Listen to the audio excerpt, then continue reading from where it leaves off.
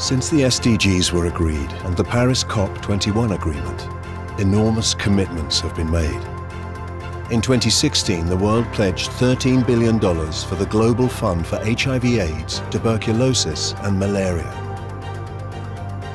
and $75 billion for the International Development Association replenishment.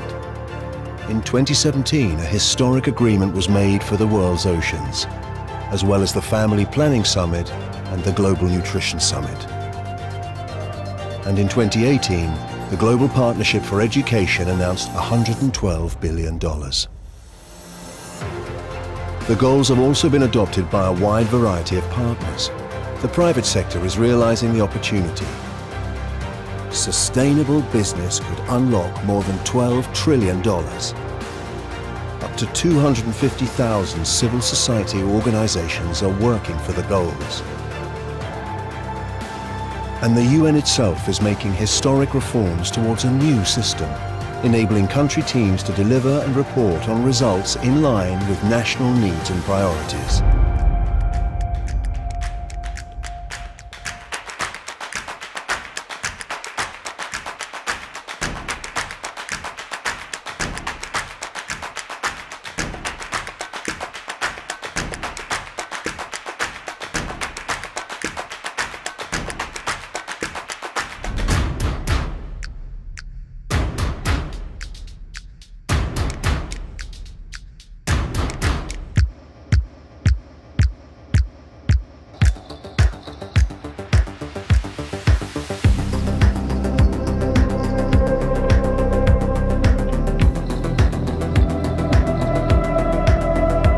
The SDGs, every single day is important.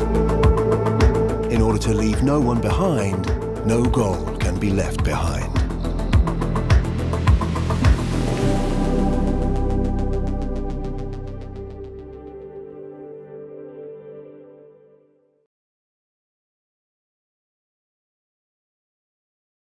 Thank you for helping to bring the important voice of business to the United Nations.